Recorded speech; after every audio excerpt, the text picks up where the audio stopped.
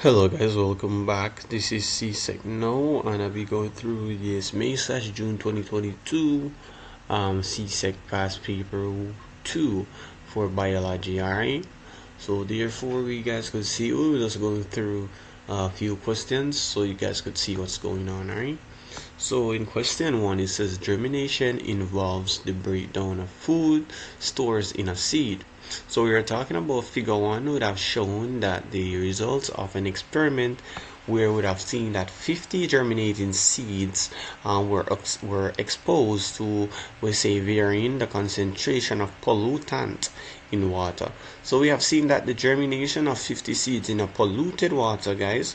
So we are talking about figure um, here we're going to talk about we're going to see the germinations in 50 so therefore this is the number of germination seeds so we're talking about 50 so the rank here would be 50 all right good. So here see that we have the distilled water we have the concentration of the water percent. So here we have 50 right? We have 1 2 5 10 20 30 50 all right so we're talking about the percentage all right good. So you guys could see um, along the diagram here you're seeing that the germination so for figure one the germination of 50 seeds in different concentrations of polluted water. So you're just gonna here go ahead and list out the four factors other than pollution that can affect the germination of a seed.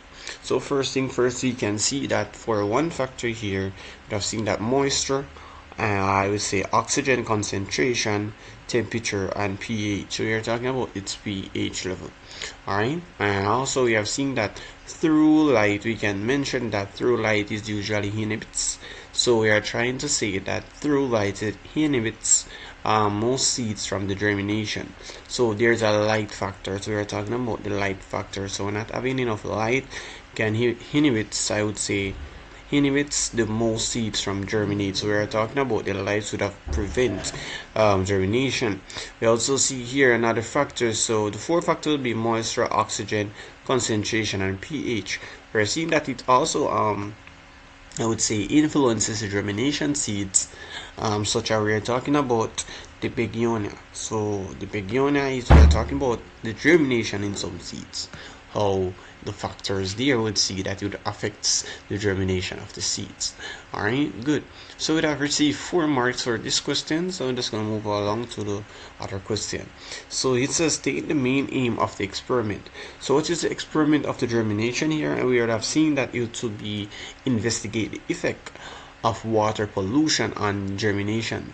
Alright, so we are talking about the effect of the water pollution on germination on seed germination perhaps. All right? Good. So I received one mark for that question and we're moving along to another question. So here we're seeing that it says using figure one explain how the concentration of polluted water affects germinations at each of the following concentrations. So we're talking about one percent. So if you're going to look back on the I would say the graph here just go back to the figure one percent that would be the water all right good so 1% we'd have seen that it would followed by like 50 um, percent of seedling germination at this point. So we're just going to get the accurate point to show you. For one we can see that it had 50 so we're talking about the 50 um, um, seedling right for two we'd have like around I would say 45 all right from five we'd have seen that would be around I would say 43, 44 around that point. Alright, well, we're just gonna move along to the questions. So it has seen that it would normally had like 50% um, of the seedling germination at this point same as when there was like zero um, percent of pollution. Therefore, we'd have seen that there were no decrease in the number of the germination seed. So we are talking about where what we are talking about, guys. We are not seeing any, I would say, any decrease in the number of the seeds being germinated. Therefore, we are also seen that the seed would have normally like they absorb, I would say, the I of the amount of pollutant, uh, pollutant perhaps. So we are talking about the Negligibly, we are talking about the I would say the percentages of how much um, I would say were absorbed about the amount of water. So we are seeing that the seed were are normally absorbed uh, based on the amount um, of water was there during the process of the, the water the seeds being germinated all right all right good. So here we are talking about 50 percent. So it has seen that it's 50 percent now would be only around like 20 out of the 50 seeds germinated at this point. So what we are talking about here about 50 percent we are talking about we have seen that here is like 20 out of the 50 percent i would say are 50 out of the 50 seeds were germinated at this point. Normally we'd have seen that this would like due to the seedling I would say absorbing the pathogen, the particulates in the water are particulates. So we are talking about the absorb how much I would say of the water at this point were absorbed during the pathogen or the particulates in the water. So we are seeing that the seeds was absorbed in. Alright, good. So here for the other questions it says the research team provided the result of the experiment to a farmer. So they're talking about we need to state two ways in which um, the farmer can use the data to improve his farming practices. So we are talking about one, seclude. So secluded meaning we are germinating the seedling from water sources. I would say that are likely to prone um, to pollution. Therefore, seeing that agricultural or pesticides, we can even say runoff. Therefore, place them in, I would say, or through, uh, you know, to build a barrier around them. The other ways we can use for the farmer to use data to improve the farming practices is to install um, filtration system. So when you're talking about install filtration system we are talking about this will also help to remove the pollutant from water before allowing the seed to become I would say are in contact uh, with it alright good. So the other question here it says figure 1 clearly place the X on the bar represent of the control. So we were talking about the X alright? So we can see that it says give one reason for your answer. So therefore the x guys we have seen this would be proves that no other factor but water pollution concentrate that would normally affect the rate of the seed germination all right good so we're gonna move along to the other questions all right so here we are talking about Mina so Mina investigated um, the growth of the some seedling and made comparisons with growth pattern in a human baby over 30 days period. I would say we have seen that the data are provided in table 1 so we are seeing that um, table 1 will be the, the data collected to investigate the growth in seedling and human baby. So there's a difference between human baby and seedling. We're talking about the days we have seen the days here the height of the seedling in centimeter the length of the baby in centimeter as well. All right so at five at i would say at day five we'd have the the height of a seedling would be 10 centimeter um in the days for days five in a human i would say baby the length was like 45 centimeter. So we are seeing that in most unlikely we'd have the the investigation between the growth. So we'd have seen a human baby's growth is being grown faster than the height of a seedling. Alright good. So but it says on the grid provided on page 7 plot the data obtained for both of the seedling, I would say both the seedling and the baby using the same scale and axes provide a suitable or even provide a suitable title for the graph. So what you're gonna we could say the graph would be the comparison um, between the seedling and the baby and the human baby over 30 days. So this would be the title of the graph, guys. The graph showing comparison um, between, we can say between, or the comparison of growth in um, seedlings and baby over 30 days. Alright, so we are talking about the difference between the baby and the seedling. So the seedling here would be the X and the baby would be the red dot. Alright, so just, that is our uh, key. Alright, so the X here would be the, I would say, the ceiling So we'd have seen from 10 rising up to 30, but we'd have seen that um, during the human baby here is from I'd say 45 moving up to you know straight back up to around 70 but it's not um, really on the line of 70 so it's below 70 so there would be like 64 64 around that point. All right but we are seeing that this would be the graph that we'd have plot you know to outline the difference between the, the growth of the seedling and the baby over 30 days. All right good. So as you guys could see we are we are plotting. All right so this is the plot. Good. Those are the days.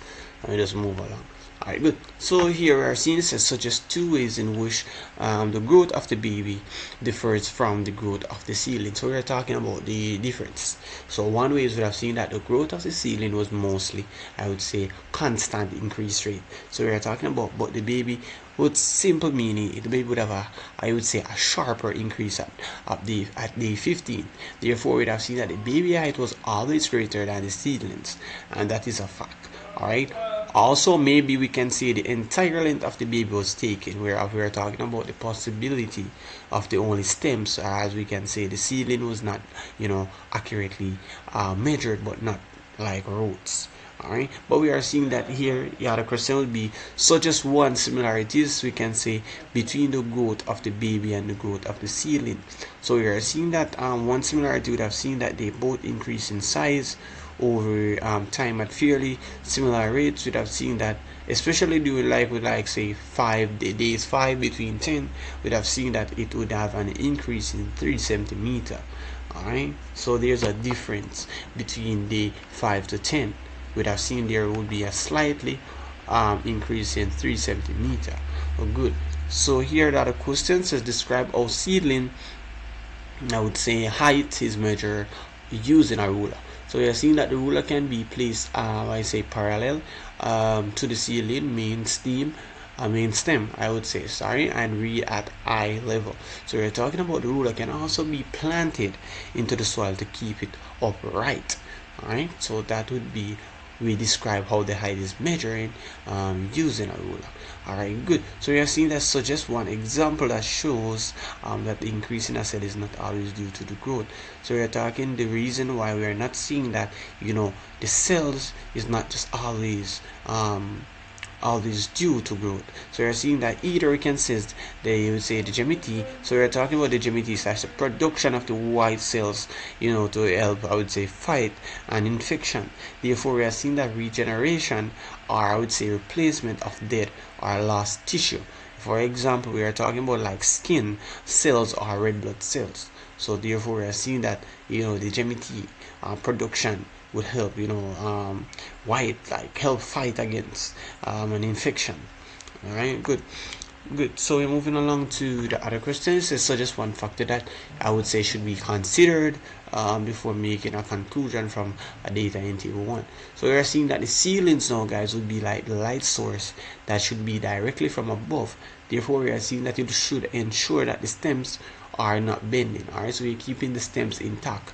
Therefore like for either we can say like animal growth we normally see that it occurs i would say in all region whereas we can talk about like growth in plants that would normally occurs in i would say uh, meristems alright good. Moving forward so that i've received one point for that question. So number two here says define each of the following terms. So we're talking about um sub sap um sorry. We're talking about the sapro saprophytic all right so the sap the saprophytic we are talking about the, the saprophytic um, nutrition. Good. So we're talking about the saprophytic um, um, nutrition. We're talking about the breakdown of organic matter into organic. I would say it's inorganic matters. Uh, we are normally um, such as like carbon dioxide Alright, so we are even talking about the heterotrophic. The heterotrophic nutrition now we are talking about the process of consuming, I would say, another organisms for nutrition. We're also talking about the autotrophic. So the autotrophic nutrition now guys, we are talking about the process of organisms using inorganic inorganic uh, matter to produce food such as like for example we are talking about sugar we have seen that they would be where we are using inorganic matter to produce food. All right good. So you're talking about the table here in figure, I would say table 2, identify the two, so I would say sapro saprothics and their food sources. So the saprothics here and their their food sources. We're talking about the saprothic, uh, uh, we are talking about the bacteria, and we are talking about bacteria um, along with the food sources. And we are talking about carcasses. So um, carcasses would be the food sources for bacteria. Fungi would be the food sources uh, for bread. So I received four marks for that questions and it's pretty simple here it's not hard right? So we are seeing here it says explain two process by which raw materials we can says ref, are required for making nutrition re reach the level of ILC of a plant. So we're talking about carbon dioxide. So carbon dioxide enters the stomach and we are talking about the leaf due to the process of diffusion. So we are seeing that carbon dioxide can move from a higher concentration in the atmosphere to a lower concentration in the leaves. And we have seen that water enter the plants through the, I would say, the roots um, through osmosis. We have seen that the water is now like then, I would say, transported to the leaf um, by, trans- by transpirational um, by I would say put in the xylem uh, moving it up to the leaf alright good. So you're talking about here it says young seedling use all the nutrients um, stored in the cotton cotton so we're talking about cotton to start their growth. We're even talking about explaining the process by which the seedling made uh, more nutrients. Alright to continue their growth. Alright good. So here we have seen those stuff